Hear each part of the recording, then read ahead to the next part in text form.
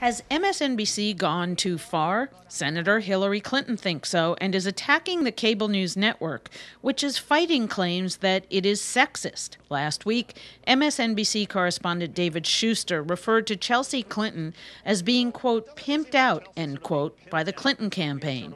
Shuster, who was referring to Chelsea contacting superdelegates, has been suspended and did apologize on air. But Senator Clinton isn't buying it. She sent a letter to the head of NBC saying she has grown accustomed to criticism but will always be a mom first and a public official second. Clinton went on to say no half hearted apology is sufficient and has even threatened to boycott scheduled debates on the network. MSNBC's Chris Matthews apologized on air last month for saying Senator Clinton wasn't elected on her own merit, but due to women's sympathy for her. And last year, shock jock Don Imus was suspended and later fired from the network for racist and sexist comments he made about the Rutgers women's basketball team. Meanwhile, new data out this week shows Senator Clinton's support from her core constituencies, older white women and blue collar workers, may be dwindling. Megan Beyer. So uh, let's start first with the MSNBC, then go to the white women looking like, at least in the this past Tuesday's, Tuesday's Potomac primaries, deserting Senator Clinton. MSNBC, sexist, gone too far? Well, I think it's part of a coarsening of the political coverage.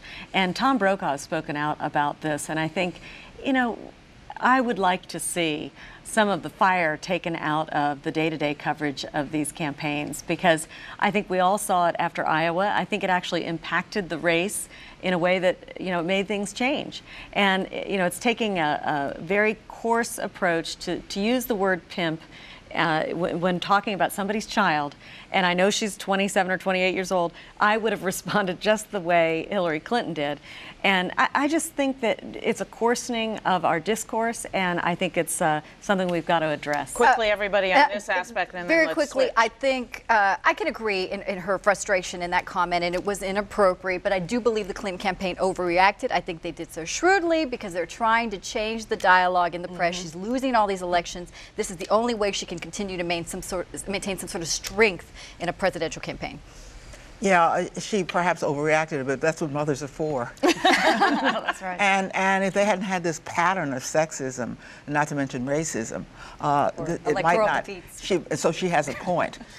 uh, yeah, uh, about MSNBC. They clearly overreacted. I mean, this is a way to humanize her also, to remind people that she actually is a mother and that um, you know she defended her child. That's great. There, but and NBC has a consistent slanted viewpoint on things, and now the Clintons are on the receiving end of that, and they don't like it. But you know, uh, uh, Keith Olbermann said the same thing about the Bush administration pimping General Petraeus to justify this war in Iraq. Where was the fervor over that? Where there was wasn't. his mother? Well,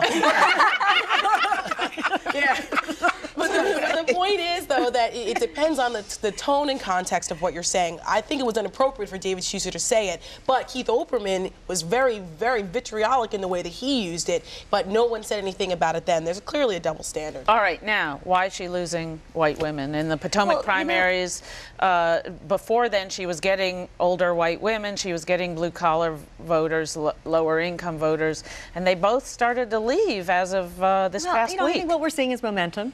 And, and it's sort of like Giuliani saying, well, you know, I've got a great demographic down in Florida, and I'm just going to wait till Florida comes, and then I'm going to ride it. Well, it has changed by the time he gets to Florida because campaigns are dynamic. And that is what is happening. What we saw in Virginia was Hispanic vote, women's vote, white male vote, all went for Hillary Clinton, or I mean for Barack Obama, not Hillary Clinton. And um, you know, I just think it's part of the dynamic of a campaign with momentum. Uh, Hillary had women and lower lower income people because they are more inclined uh, to to recognize uh, the name.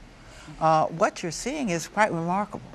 Uh, even with all that name recognition, the more they see Barack, see how he fits these times, see, see how he raises their spirits, sees how he breaks from the past, uh, he overcomes that. That's what's remarkable about his candidacy because it's overcoming the powerful Clinton name recognition. What you're seeing here is something that I find to be very fascinating. It's almost like teenage fawning over the Beatles People are just, they almost don't know why, and they're Why, just but, but why aren't they screaming at the rallies then? Yeah, they are. They're screaming. They're crying. It's like the Beatles when they when they see Barack Obama. And and but when it comes to Hillary Clinton, she's not exciting them the same way. Her her message is not resonating, and it and they have a diff, they're having difficulties with this. If you saw the footage of the B-roll of, of, of Senator Clinton during the Potomac primaries and where she was, she's walking through a, a machine factory, and Barack Obama is filling stadiums of people. It's like it, it- it's a certain phenomenon, and it's like the warm. He makes people feel warm and fuzzy, and it's the instant gratification culture we have. He makes them feel great, so that's where they're gravitating. Hillary Clinton is cold and frosty, and she's not making people feel very inspired, and she's losing the votes. It's very true. It's funny. One of her senior pollsters called her in Spanish La Fria. That was their big problem. She was the iceberg. She was the, you know, she was not one you wanted to get warm, you know, and, and listen to. And it's funny when you listen to Barack Obama about to begin his speech, it sounded like a Hannah Montana concert. I mean, it, that high-pitched scream that was coming from the crowd was was very intense. But there's no doubt he's charismatic, great orator, and that's almost what her argument is now. I could give a great speech if I wanted to, but I'm more on substance. You know, I've got the solutions. better you know, she's she's trying something. Her message is not working clearly. That's probably the biggest what- point of this. And, and and in addition to that, the, I I wouldn't read too much into the exit polls that he he won Latinos because it was such a small sample in Virginia and Maryland. But there is momentum um, uh, socioeconomically. He he is winning all the different income groups, and that's important.